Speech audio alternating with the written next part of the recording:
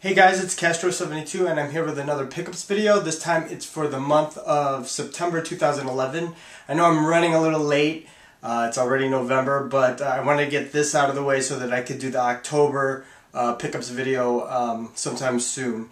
So um, I just want to answer a question uh, that a lot of people who are new to my channel have been asking me. They're wondering where I get the rarity and the value of all the games that I mentioned in these pickups. And um, I wanted to let them know that I get them from the Digital Press Collector's Guides. Uh, this is the advanced guide for all those um, systems that have been retired 16-bit uh, and up. And this is the Digital Press uh, Collector's Guide, um, 7th edition for uh, all the 8-bit systems that have been retired. Anyway, I hope that uh, answers some of your questions. I can give you uh, the link to the digital press um, uh, website where you could probably order them. I don't know exactly if they're still available. I know they're updating uh, one of these catalogs, so um, they may not be available, but the update might be coming soon. Uh, other than that, uh, I guess we could just begin. Uh, what did I get on, in September? Oh, okay. I went to the Brown Elephant. Another, it's a resale store that I go to a lot and I found two N64 games. I got uh, WWF Warzone, which is a rarity one valued at $2, and I got it for $1.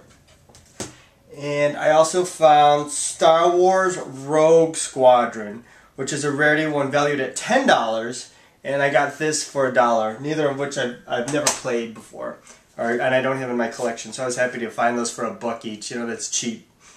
Um, next, I went to the unique thrift store where I where I always go, and I got a Sega Master System uh, game called Phantasy Star. Now everybody knows Phantasy Star. Now this is a, actually a rarity five, valued at thirty five dollars. I was really surprised, and um, I got it for a dollar ninety nine. Now I I actually have a copy of Phantasy Star. My friend Lewis, a childhood friend of mine, uh, gave me his original copy years and years ago, and uh, I never had uh, the heart to actually erase his uh, memory save so that I could actually play the game because you know it was from like 20 years ago. I never I never wanted to erase it, uh, so I never actually played through the game. But now that I found this copy, I think I'll play. I'll, I'll I don't know who owned it before, so uh, I'll probably I'll probably play through this game, uh, erasing the old memory save that's on that. I hope it's still active that like the battery still works because I heard lithium batteries really don't last more than like eight years or something like that. Um, but I'm gonna give it a go. I haven't even tried it yet. Uh, the next game I, I found there was the Phantasy Star 2 game, the sequel for the Sega Genesis. It's a rarity 2 valued at $20. I also got this for $1.99. Now, I think it's not complete. I mean, it has the uh, instruction booklet, and Phantasy Star also had the instruction booklet with it. Both of those games had instruction booklets, but I think this was supposed to come with a map. I'm not too sure. Uh, I had to check the guide again, but um, the map is missing, so wah, wah, you know I'm missing the map. But at least I do have the instructions. Uh, next, I found Might and Magic: Gates to Another World. It's a rarity four valued at $12. I got it for $1.99. Sega Genesis game. Uh, everybody knows Might, Might and Magic from the PC. Then I found The Legend of Zelda Ocarina of Time and The Master Quest. Now this is the disc for the GameCube. It was a promotional disc.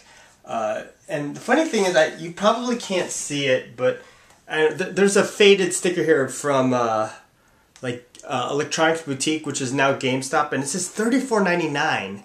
And I can't believe this game was $34.99 when it was actually free. I remember they were giving this free at Best Buy.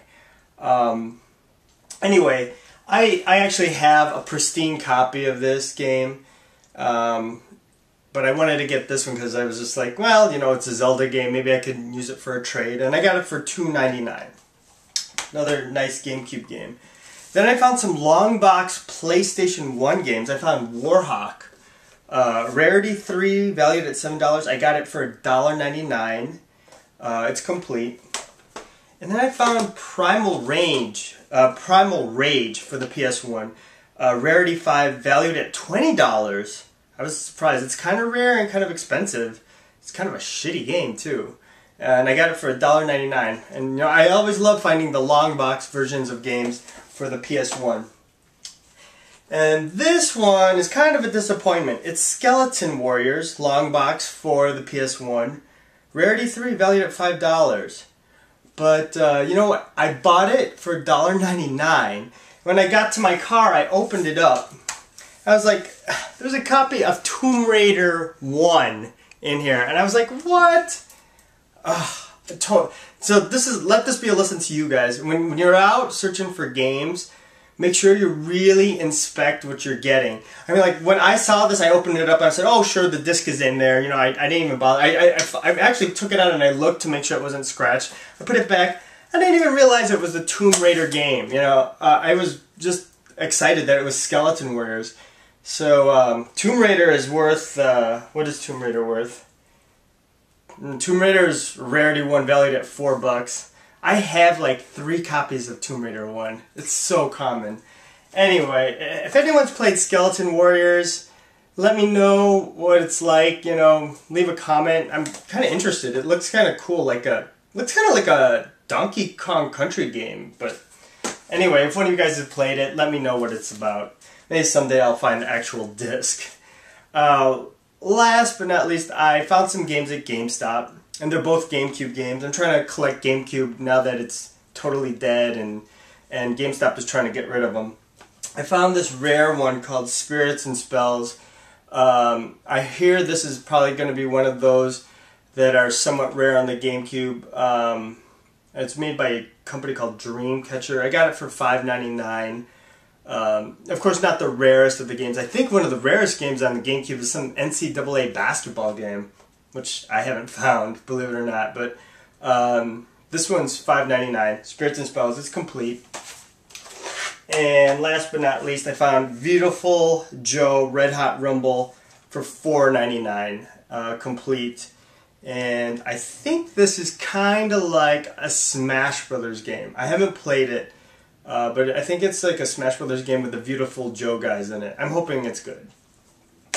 And that's pretty much all I got for the month of September, guys. It's not, not many games this time around. Uh, but I wanted to kind of let you guys, uh, I don't know, in on something I, I really like about collecting. And I just kind of had an epiphany when I was collecting recently. You know, it's, sometimes it's the hunt that's a lot more fun than, than the games. You know, like, um, I mean, I love finding new games and I love playing them. But sometimes just going out and hunting for the games is something I really like. And I'm sure you guys have the same feeling. It's like people you meet and just weird type of situations you get into. It's like the people at the unique thrift store already know me as like the game guy. So like as soon as I walk in, they kind of like grab the games off the shelves. They're like, hey, this is what we got. You know, and that's kind of a nice, warm, fuzzy feeling you get just by collecting. And I'm sure you guys have that same feeling too when you guys go out, when you guys go out and start looking for these games. Anyway, uh, those are what I picked up for September 2011. Uh, happy gaming, guys, and I will see you for um, my October thrift pickups. Thanks a lot.